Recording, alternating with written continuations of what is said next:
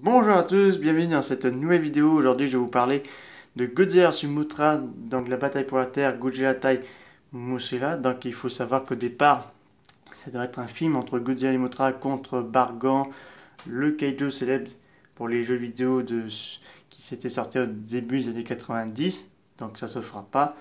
Et également, on propose pour un nouveau kaiju appelé Gigamut, qui est une espèce de, de papy de Motra diabolique. Donc, euh, voilà, proposé également mais ça se met, le script est accepté, mais on modifie, on mettra le personnage de Batra qu'on connaît déjà, donc euh, voilà, donc Batra va faire son apparition dans l'univers Godzilla et Motra, parce que Batra c'est la version euh, mal diabolique de Motra, donc le film est réalisé par Takao Okawara, c'est lui qui va réaliser ce film, et il réalisera également Godzilla vs Mecha Godzilla 2, Godzilla vs Destroya et Godzilla 2000 Millennium. Donc euh, voilà. Donc euh, le film, ça se passe après les événements de Godzilla vs King Ghidorah. Donc euh, là, une astéroïde s'écrase sur, la Terre, réveille Godzilla et réveille apparemment Batra, qui est la forme maléfique de Mothra qui s'est réveillée suite à, suite à son emprisonnement dans, dans, un iceberg et veut se venger de Mothra. Mais lui, enfin plutôt elle ou, ou lui, il veut protéger la nature en, en détruisant les humains. Parce que lui, il, déteste les humains parce qu'apparemment Motra et Batra avaient été en guerre par rapport à ça. Parce que là, parce que si vous voulez, ils, ils vont découvrir sur une île, donc l'île en qui est, qui, va, qui est propriété d'un certain propriétaire d'un futur euh, terrain de golf, qu'ils ont découvert un œuvre gigantesque. Donc on en voit des un espèce de Indiana Jones japonais et son ex-femme et un entrepreneur de bureau et il découvre un œuvre, il, trouve l'œuvre et avec euh, les trois fées. Donc euh, là, c'est pas les Jubiji, on les s'appelle, c'est les Cosmos. Donc il faut savoir que dans RCI, elles vont avoir plusieurs noms, les fées de Motra.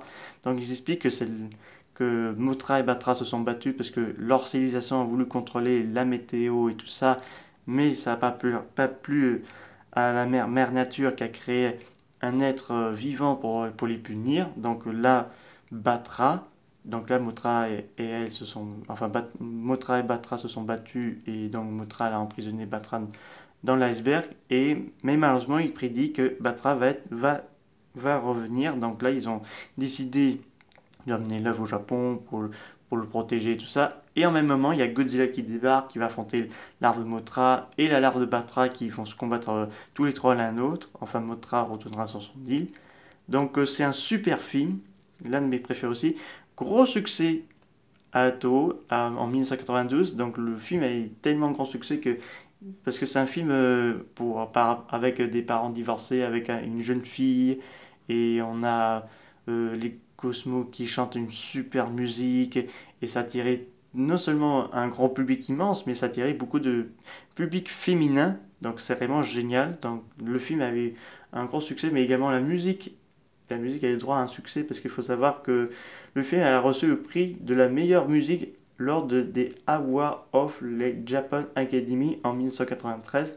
Donc ça c'est vraiment génial pour pour euh, ce film parce que c'est vraiment un gros réussite pour Lato et tout ça. Et Motra est de retour parce que là, ils ont un peu remixé les films comme ça a été fait pour Gozer ce Ghidorah parce que là, le, ce film-là, c'est un pur mélange entre Motra contre Godzilla de 1964, mais là, c'est on met en version remix parce que là, on a rajouté Batra. Donc euh, là, ce Godzilla, il est très peu présent.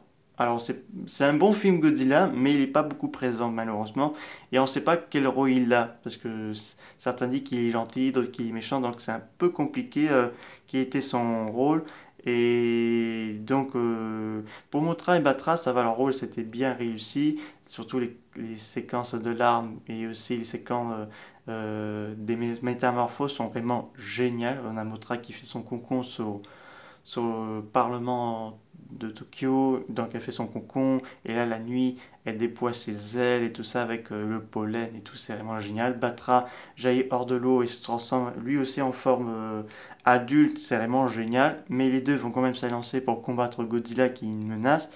Et donc euh, voilà, mais Motra va revenir parce que elle va prendre la place de Batra parce que Batra s'est enfin tué par Godzilla car elle va tenter de, elle va arrêter une astéroïde qui arrive sur Terre, donc elle va partir dans l'espace. Donc on soupçonne que cette, que cette Motra de l'RCI, c'est une créature extraterrestre, parce que elle va dans l'espace et apparemment elle aurait aussi participé à la création de Space Godzilla, vu qu'elle avait apporté avec elle des, des cellules de Godzilla.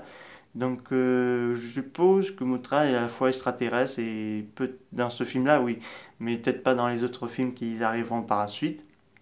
Donc euh, Motra reviendra dans un petit moment dans Godzilla vs Space Godzilla, mais il pourra pas participer au combat, c'est un peu dommage, tout le monde avait inspiré ça, mais était occupé à, aller arrêter euh, l'astéroïde qui arrivait bientôt sur Terre.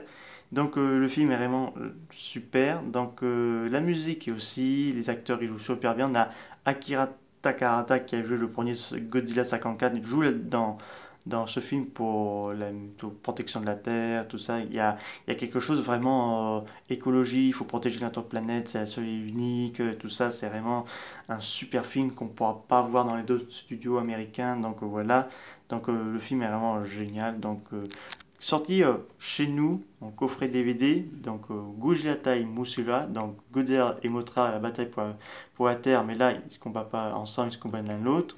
Donc là, religion, parce que là, quand Godzilla et Batra tombent dans l'océan, votre rapport son, laisse un saut. Donc euh, je ne sais pas qu'est-ce qu'elle voulait faire, mais je pense qu'elle voulait... Euh, je ne sais pas trop comment pourquoi elle a fait ça. Donc euh, disponible avec le film Godzilla vs Megalon et ce film-là. Donc voilà, on Tezuka Beisho dans Godzilla vs Motra. Donc le film dure 103 minutes. Donc euh, c'est vraiment génial, vous passez un bon moment parce que le film est beau, la musique est super, donc la larve de Motra, elle est prête à tout pour protéger parce qu'on s'y attache en plus au, personnage de Motra quand elle est blessée, quand elle veut protéger euh, les humains et tout ça. Donc, euh, parce qu'elle veut faire comprendre à Batra, il faut protéger les humains, même s'ils font des erreurs, mais, on, mais il peut réparer leurs erreurs. Donc là, c'est vraiment super. Donc Motra enfin Godzilla Sumatra est un film, bon film à regarder. Le Godzilla est vraiment super aussi, surtout euh, le costume et, et, le thème, parce que quand Godzilla, jaillit hors du mont Fuji, il y a un mélange de feu et tout ça. Donc c'est vraiment super. On a une petite séquence de musique de War Gargantula dans ce film. Donc euh, vraiment super. C'est l'un de mes préférés à regarder.